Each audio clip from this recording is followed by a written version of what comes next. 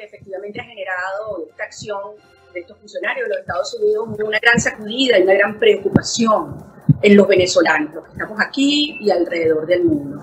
Y, además nos obliga a, pedir una explicación y, respuestas al gobierno de los Estados Unidos, es decir, eh, cuánto vale la libertad de Venezuela, la soberanía de nuestra nación y la vida de los venezolanos para esta administración. Es decir, nuestro principal aliado en la lucha por la libertad durante estos largos y dolorosos años eh, ha cambiado de posición respecto a, su compromiso con los venezolanos. Y, esto que ha ocurrido, esta aproximación, y de nuevo, sobre base de la información que tenemos públicamente, eh, genera además profundas implicaciones en al menos tres dimensiones. En una dimensión de orden eh, energética, yo creo que es eh, la, calificación que hay que darle, que es una acción ineficaz, es una acción incomprensible en el plano geopolítico y es una acción o una aproximación inaceptable en el plano ético. Bueno, yo creo que lo que representa es una enorme contradicción por parte del gobierno de los Estados Unidos. Las sanciones que tiene el señor Maduro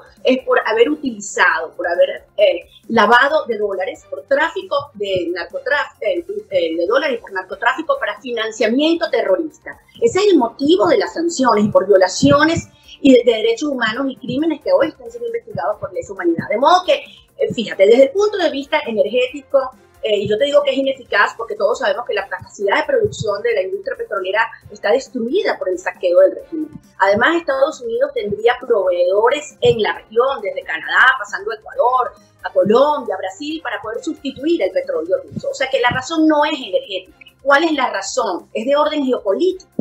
Y entonces allí yo creo que, que era mi, mi, calificación inicial, es que es una aproximación incomprensible, porque Maduro es un peón de Putin como es un peón de China y de Irán.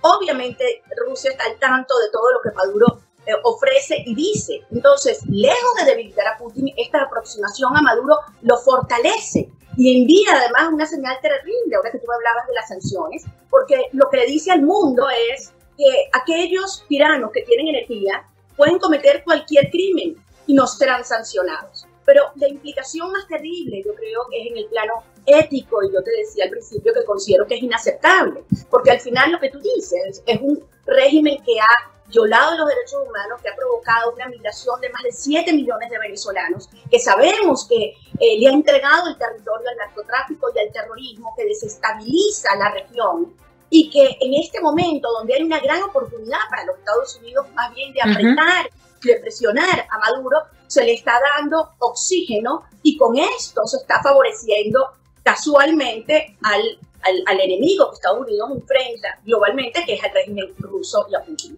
Bueno, eh, yo creo que lo importante es cómo deja al país, cómo deja esta lucha.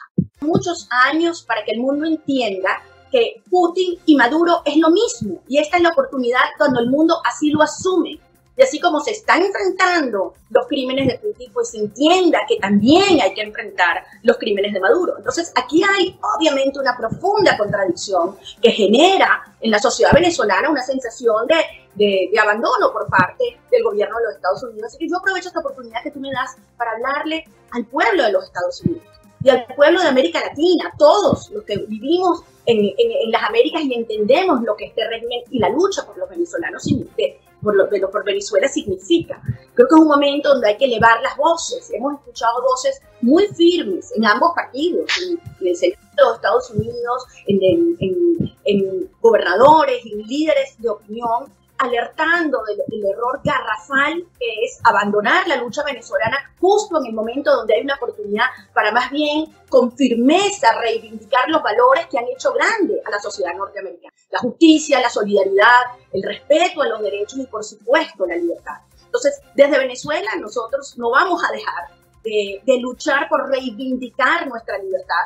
Yo creo que Maduro está en un momento en el cual ve una oportunidad de salirse con la suya y, y, nosotros creemos que por el contrario es la oportunidad donde hay que apretar y afianzar los valores en los que creemos, de modo que yo espero que el gobierno de los Estados Unidos rectifique, que entienda, como bien decías tú, que desde el punto de vista energético no hay posibilidad de que Venezuela bajo Maduro se convierta en un proveedor confiable de energía.